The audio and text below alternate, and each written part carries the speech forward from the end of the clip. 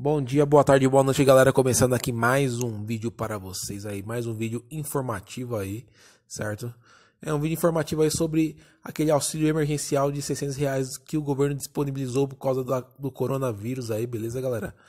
Então, uma pergunta que me fizeram muito aqui, e essa matéria responde a pergunta de vocês e as dúvidas, beleza? Então, eu vou ler para vocês aqui, ó. Tá no site da UOL aí. Errou no cadastro do auxílio de 600 reais?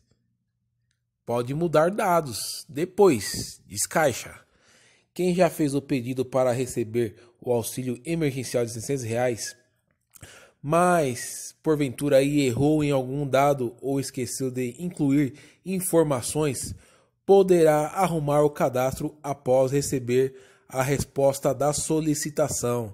Segundo a Caixa, será possível corrigir os dados pelo site ou pelo aplicativo, mas é preciso esperar até o fim da primeira análise, beleza, galera?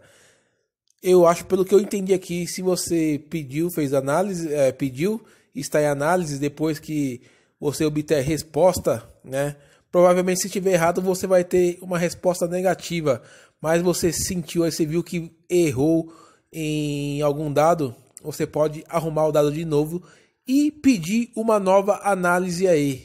Foi o que eu entendi aqui, até aqui. O prazo da Caixa para avaliar a solicitação é de cinco dias úteis após o envio do cadastro.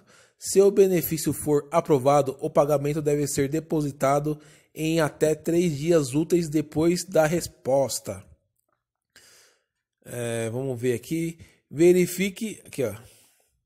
Antes, o banco havia informado que não seria possível corrigir o cadastro enviado, porém, nesta terça-feira, a Caixa prometeu disponibilizar a edição de dados para quem já teve o pedido analisado. Então é isso mesmo que eu falei no começo aí, galera. Verifique os dados antes de enviar. Se você ainda não fez o cadastro, confira bem os dados antes de concluir o procedimento. Depois de preencher o cadastro, o programa da Caixa exibe uma tela com o resumo dos principais dados. Né? Se alguma informação estiver incorreta, você pode voltar algumas telas e corrigir. Nem todo mundo precisa preencher o cadastro.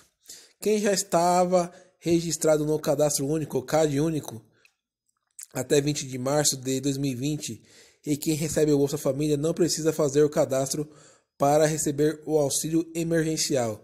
Segundo o Ministério da Cidadania e a Caixa, essas pessoas vão receber o benefício automaticamente se tiverem direito. Elas podem consultar o site e o aplicativo para verificar se estão habilitadas e se o dinheiro já foi depositado. Certo, galera?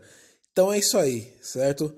É, respondendo a pergunta de alguns aí que me fizeram aí, você pode sim mudar os dados depois de analisado, depois da primeira análise aí, beleza, galera?